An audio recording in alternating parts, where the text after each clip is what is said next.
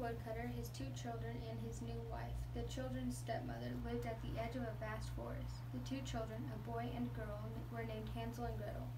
Every day the woodcutter struggled to earn enough to take care of his family. One- Okay, now how did that feel? Very easy. And what is it normally like? Choppy and like, I can't really tell.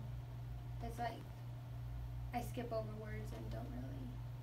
And you've actually said that when you look at a word, usually you can't see the ones around. So if you look at one word here, can you see the words in front and behind it? Yes, here's your lunch. Okay, now what about if I take this off?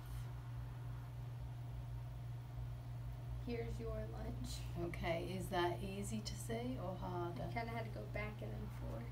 So you couldn't, if you're just looking at that word, you had to move your eyes to see the other ones. Yes, ma'am. Okay, so we're going to be a little bit cruel and get you to read a little bit with this just so we can see the difference. So you can start from the top again. A poor woodcutter, his two children, and his new wife.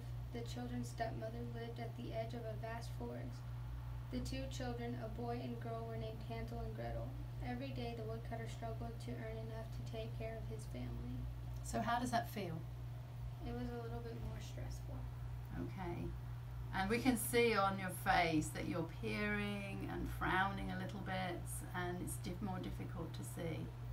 So how do you feel? As you're already an A student, but how do you feel it's going to be now? Your brain's calmer. A lot easier. And do you get headaches? Yes, ma'am. So we're going to also look to see if they get better. Okay, thank you.